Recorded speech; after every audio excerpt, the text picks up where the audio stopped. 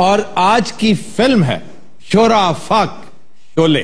शोले ना सिर्फ़ हिंदुस्तान की, बल्कि साउथ एशिया की सबसे बड़ी फ़िल्म है और इसे बीबीसी ने 1999 में मिलेनियम की सबसे बड़ी फ़िल्म करार दिया। ये 70 एमएम पे बनने वाली पहली इंडियन फ़िल्म थी। इसकी मौसीकी तरतीब दी उस दौर के number one composer R D Burman ने। और रमेश सिप्पी इसके डायरेक्टर थे। कहानी बहुत दिलचस्प स्पेल बाइंडिंग थी। आगाज़ होता है एक देही पुलिस स्टेशन से। इलाके का इंतहाई खौफनाक डाकू गब्बर सिंह पुलिस मुकाबले के दौरान गिरफ़्तार हो जाता है। ठाकुर बलदेव सिंह एक पुलिस ऑफिसर इंतहाई ऑनेस्ट और बहादुर पुलिस ऑफिसर उसको पकड़ता है और गब्बर उसे बार बार कहता है कि मुझे छोड़ दो, वरना तुम पछताओगे। और वो कहता है, जब तुम एक तवील अरसा जेल में काटोगे तो तुम्हारी यादाश्त पे अच्छा असर पड़ेगा, तुम सब कुछ भूल जाओगे। तो जाते हुए उसे कहता है कि मैं सब कुछ भूल सकता हूँ, लेकिन तुम्हें याद रखूँगा। वो जिस अंदाज में कहता है, ये इस कदर सनसनीखेज था कि वो आज भी मुहावरे के तौर पे इस्तेमाल होता याद रखूँगा। तुझे याद रखूँगा। हम स्टोरी लाइन को कंटिन्यू करेंगे, लेकिन इससे पहले आपकी मुलाकात करवाते हैं इस फ़िल्म के डमी किरदारों से। हमारे साथ सेट पे मौजूद हैं जय और वीरू। वीरू का किरदार अदा किया धर्मेंद्र ने, जबकि जय अमिताभ बच्चन का एक इंतहाई लाजवाल किरदार था। लेकिन इस फ़िल्म का सबसे पावरफुल कैरेक्टर जिसे शोहरत दवाम मिली, वो गब्बर सिंह का किरदार था। गब्बर सिंह अमजद खान की पहली फ़िल्म थी। इन सब नौमोज अदाकारों की मौजूदगी में सबसे ज़्यादा मंझा हुआ और सीज़न अदाकार संजीव कुमार था, जिसने इंतहाई लाजवाल परफॉर्मेंस दी ठाकुर बलदेव सिंह के किरदार में। अब कहानी में एक ज़बरदस्त ट्विस्ट उस वक्त आता है जब गब्बर सिंह पुलिस कस्टडी से फरार हो जाता है और फरार होते ही ये सबसे पहले अपने दुश्मन ठाकुर बलदेव सिंह के घर जाता है। ये उसके घर को तबाह कर देता है घर वालों को कत्ल कर देता है और ठाकुर बलदेव सिंह के दोनों हाथ काट देता है। ये कहते हुए कि तुम्हारे इन हाथों में बड़ी जान थी ना? अब देखो, मैं तुम्हारे इन हाथों को काट कर फेंक रहा हूँ, ताकि तमाम उम्र तुम्हें याद रहे कि तुम्हारा पाला किससे पड़ा था। अब ठाकुर बलदेव सिंह दो चोरों की खिदमत हासिल करता है। वो उन्हें एक असाइनमेंट देता है कि तुम्हें मैं मुँह मांगी कीमत दूँगा, तुमने गब्बर सिंह को पकड़ना है, ज़िंदा और मेरे पास लाना। ये दोनों चोर एक जेल से ताज़ा ताज़ा रिहा होते हैं, जय और वीरू। उसके बाद जय इस मुहिम में हलाक हो जाता है, जबकि वीरू उसका इंतकाम लेते हुए गब्बर सिंह को कत्ल करने लगता है, लेकिन ठाकुर ऊपर से आ जाता है और उसे कहता है कि तुम्हारे उसी दोस्त ने मेरे साथ वादा किया था कि इसे ज़िंदा मेरे हवाले करना और वो लोहे के बूट इस्तेमाल करते हुए गब्बर सिंह को दोनों बाजुओं से महरूम कर देता है। हम आपकी मुलाकात करवाते हैं गब्बर सिंह से।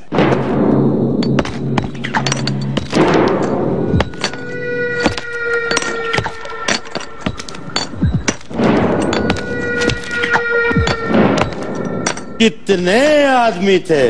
दो सरकार दो। वो दो और तुम तीन। बहुत ना इंसाफी है बहुत ना इंसाफी है।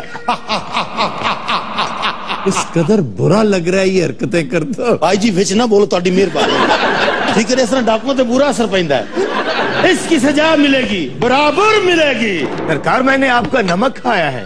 तो तू खाद है अन्नी दे बच्चे मैं तीन चार दिनों तो फीका सालन खाई जाना सरदार लून घट खाना चाहिए ਇਹਨੂੰ ਕਿੰਨੇ ਕਿਹਾ ਮੈਨੂੰ ਬਲੱਡ ਪ੍ਰੈਸ਼ਰ ਹੈ बसंती मत नाचना इन कुत्तों के सामने मत नाचना ਭਾਈ ਜੀ ਗੱਲ ਸੁਣੋ ਪਹਿਲੀ ਗੱਲ ਤੇ ਇਹ ਕੁੱਤੇ ਦੇ ਬੱਚੇ ਨਹੀਂ ਹੈ ਇਹ ਮੇਰੇ ਚਾਚੇ ਦੇ ਬੱਚੇ ਨੇ ਅਰੇ ਓ ਸਾਂਬਾ ओ ਧੁਰ ਧੁਰ ਸਾਂਬਾ ਯਾਰ ਕਿਹੜੇ ਬੰਦੇ ਇਕੱਠੇ ਕਰਕੇ ਮੈਨੂੰ ਦੇ ਦਿੱਤੇ ਲੈ ਆ ਡਾਕੂਆਂ ਦੇ ਕੱਪੜੇ ਧੋਤੇ ਨਹੀਂ ਕਿ ਨਹੀਂ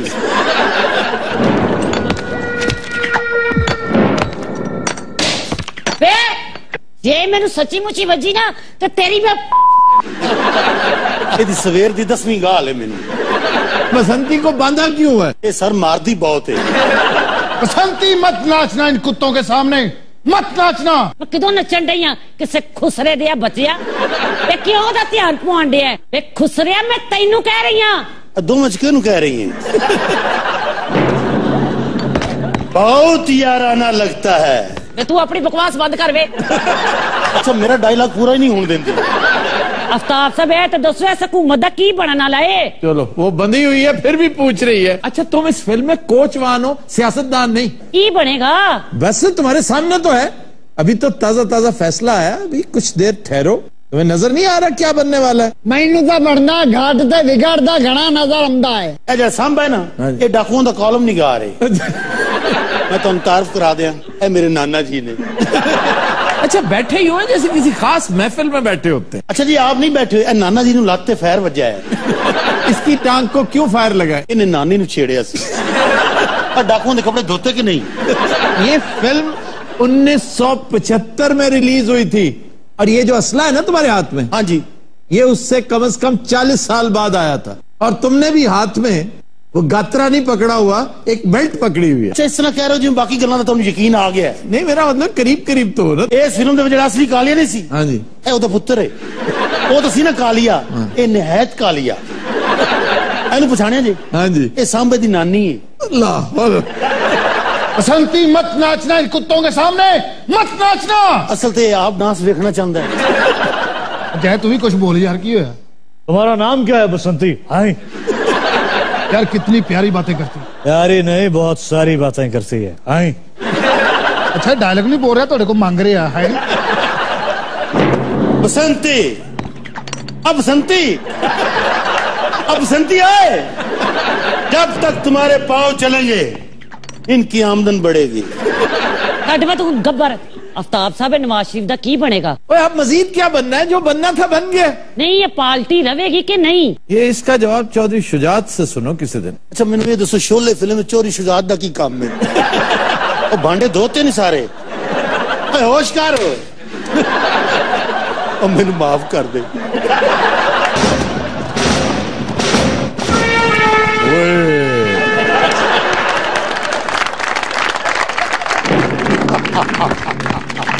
ये हाथ मुझे दे दे ठाकुर। तू पकौड़े करने ने? यार क्या एंटी क्लाइमेक्स है? हम इतने इम्प्रेस होके बैठे हुए थे। अच्छा शो शुरू हुए इतनी देर होगी बाहर क्या कर रहे थे? मैं बाहर गली च मांग रहा सर अच्छा मंगदा हूँ इंज भी नहीं मंगदा मंगदा भी इंज के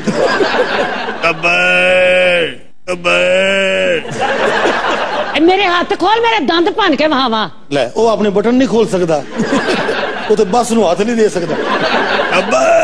ਹੋਰ ਲੈ ਪੰਗੇ ਮੇਰੇ ਨਾਲ ਗੱਬਰ ਐਸੇ ਖੁਰਕ ਕਰੀ ਜ਼ਰਾ ਇਹ ਸਵੇਰ ਦੀ ਚੌਥੀ ਵਾਰੀ ਮੈਨੂੰ ਖੁਰਕ ਕਰ ਬੈਠਾ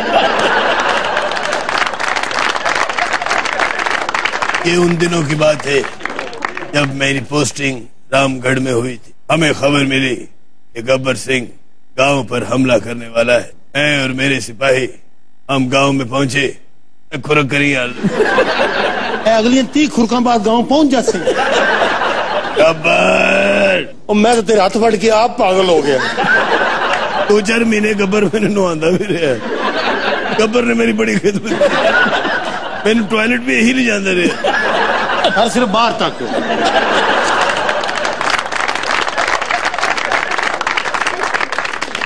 ਓਏ ਘੋੜਿਆਂ ਨੂੰ ਪੱਠੇ ਪਾਏ ਨਹੀਂ ਤੁਸੀਂ ਜਨਾਬ ਮੈਨੂੰ ਇਹ ਗੱਲ ਦੱਸੋ ਜੀ। ਕਿ ਇਹਦਾ ਇਹ ਅਸ਼ਰ ਹੋਣਾ ਜ਼ਰੂਰੀ ਨਹੀਂ ਸੀ बिल्कुल नहीं तुम एक घटिया इंसान थे तुम करप्शन की अलामत हो देखो तुम सेहतमंद और हट्टे कट्टे होने के बावजूद शिकस्त खुर्दा हो वो बाजू कटवा कर भी जीत गया। इकाला जीत गया खुरक तो मेरे को करांदा है। ये हाथ मुझे दे दे ठाकुर। तू जलेबियाँ कटनी है ने। यहाँ से पचास पचास कोस दूर गाँव में जब बच्चा रोता है तो माँ कहती है गब्बर बच्चे के लिए दूध लिया रोवे कहती है नू। अच्छा इस फ़िल्म का जो राइटर है उसने एक दिलचस्प इंकशाफ किया। कि मैंने इतने शानदार डायलॉग्स लिखे एक भी हिट नहीं हुआ। जबकि सवालात वो सुपर हिट हो गए मुहावरे हो गए आज तक। मसलन कितने आदमी थे? ये गब्बर का डायलॉग कितने आदमी थे? क्या इनाम रखे है सरकार मुझ पे? कितना इनाम रखे है सरकार हम पर? यानी सांभा एक कैरेक्टर है उसने सिर्फ़ एक जवाब पूरे पचास हज़ार सिर्फ़ एक डायलॉग करने के लिए। उसे 28 मरतबा बंबई से बेंगलोर जाना पड़ा। अरे ओ सांभा कितना इनाम रखे है सरकार हम पर? पूरे पचास हज़ार। और पता हीरो महँगा पै गया वो। और दोनों हीरोज ने अपनी अपनी हेरोइन के साथ शादी की। यानी जिया जिया बच्चन बन गई और हेमा मालिनी धर्मेंद्र की बेगम बन गई। अबे ओ सांबा ओ। कितना इनाम रखे सरकार हम पे? अरे वाला साहब जिसले दस दे पैसा ने मैं जाए। दूर दूर सांबा। वालद कितना इनाम रखे है सरकार हम पे? पूरे पचास हज़ार। मैंने पाँच हज़ार दो मैं इतने नचदा भी हाँ। गब्बर! जेड़ा उच्ची बोल रहे हैं खारिश नहीं गल कोई हो रहे। ਆਏ ਉਠੋ ਠਾਕਰ ਨੂੰ ਲੈ ਕੇ ਜਾਓ ਬਾਹਰ ਪੈਲੀਆਂ 'ਚ ਉਤਰਾ ਬੰਦੂਕ ਰੱਖ ਦੇ ਤੇ ਲੋਟਾ ਚਾ ਉਤਰੇ ਨੇ ਕਿਹੜੀ ਤੇ ਨਿਉਂਦਰਾ ਮਾਰਨੀ ਜੱਬਰ ਹਾਂਜੀ ਮੈਂ ਇਹਦੇ ਨਾਲ ਨਹੀਂ ਜਾਣਾ ਹੋਰ ਤੁਹਾਡੇ ਨੇ ਡੀਸੀ ਸਾਹਿਬ ਨੂੰ ਭੇਜਿਆ ਇੱਥੇ ਐਟਮਾ ਨਾ ਕਰ ਜਾ ਇਹਦੇ ਨਾਲ बसंती मत नाचना इन कुत्तों के आगे। और बसंती नहीं ठाकर नचदा पे तेरा प्यो। जिन्ना इतने नच रहे हूँ तक तो उथे पहुँच जाना सी। अकबर और ठाकर। ठाकर। तेरी मेहरबानी।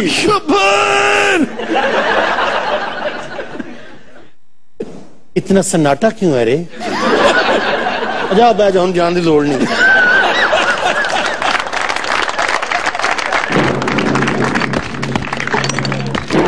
रामगढ़ के वासियों बाहर निकलो। और मरो देखो कभी ठंडी हवा चल रही है। अच्छे लोग के बैठे हो? अरे सांबा। ओ। तेरा खाना खराब हो मैंने क्यों बनी आई? तेन कुछ कह रहे हैं बैठी रहे। अच्छा मैं डाकू हूँ तेरी अम्मी नहीं है। ये उन दिनों की बात है जब मैं बेलापुर थाने में था। हमें खबर मिली कि गब्बर और उसके साथी आगे आ जा यार ये तुम पहले कर चुके हो ठाकुर। ये मेरे को चार पाँच ही डायलॉग सर पूरे हमें खबर मिली गब्बर और उसके आदमी रामगढ़ गाँव को लूटना चाहते मैं और मेरे चंद सिपाही हमने गब्बर का पीछा किया और आखिरकार गब्बर को दबोच लिया। गब्बर गब्बर! जरा खुरकना जी उसी से कहो नहीं हम खुरको गब्बर तो मैं इससे क्या लड़ेगा ठाकुर नीदिया थूका देना तेरे तो हाथ काट के फेंक चुका हूँ मैं सांप को हाथ से नहीं पैरों से कुचला जाता है गब्बर सिंह पैरों से ये हाथ मुझे दे दे गब्बर नहीं